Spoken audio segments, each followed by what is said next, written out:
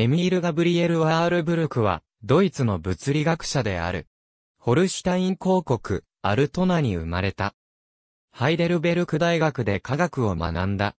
その後ベルリン大学で、オーガスト・クントの下で、音響学を学び1867年博士号を得た。不仏戦争の結果1872年に、ストラスブール大学が、ドイツの大学として再建されると、クントと共にストラトブール大学で、機体運動の分野で業績を上げた。1876年にフライブルク大学に移り電磁現象の研究を行い磁気ヒステリスの研究を行った。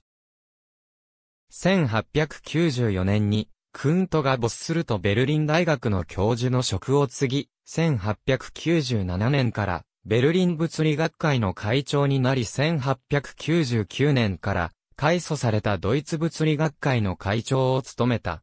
研究した分野は気体の運動理論、電気伝導度、気体放電、放射、強磁性体、発光分析に及んでいる。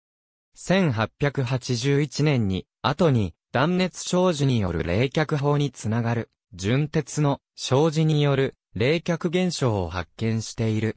ワールブルクの功績から、エミール・ワールブルク財団が設けられ物理学の業績を表彰している。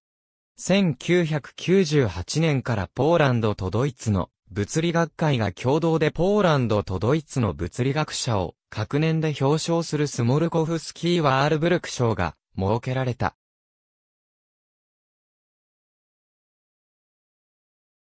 ノーベル生理学、医学賞を受賞したオット・ワールブルクの父親である。日本の物理学者飯森町づくりが留学時指導を受けた。